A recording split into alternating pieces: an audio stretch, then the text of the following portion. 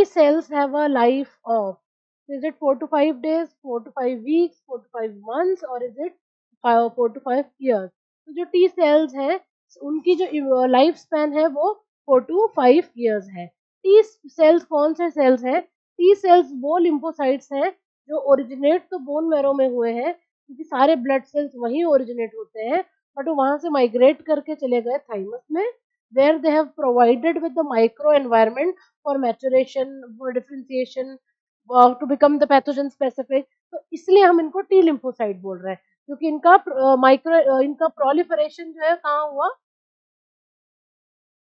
Thymus gland में which is the primary lymphoid organ यहाँ पर हुआ है टी सेल का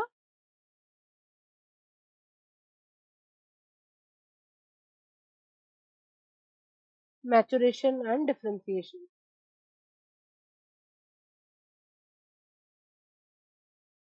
फॉर्मेशन नहीं हुआ फॉर्मेशन हुआ है बोन मैरो में ही। फॉर्मेशन सभी सेल्स का बोन मैरो में तो टी सेल्स जो है, ये क्या काम करते हैं?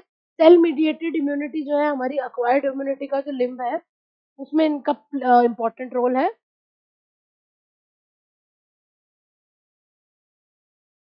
They play a key role in cell mediated immunity or the CMI.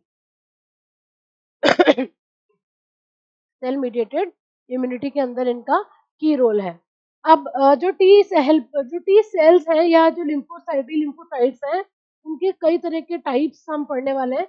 Like for example we have T helper cells T memory cells cytotoxic cells suppressor cells different type होते हैं तो टी सेल्स की जो life span है, कुछ की life span four to five days four to five weeks four to five month भी होती है बट कईयों की लाइफ स्पेन जो है फोर टू फाइव ईयर भी हो सकती है।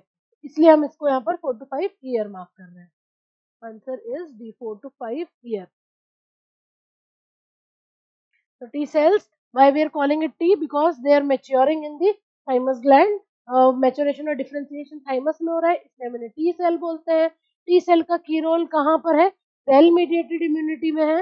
Uh, also, they have their role in graft rejection or and the lifespan is 4 to 5 years.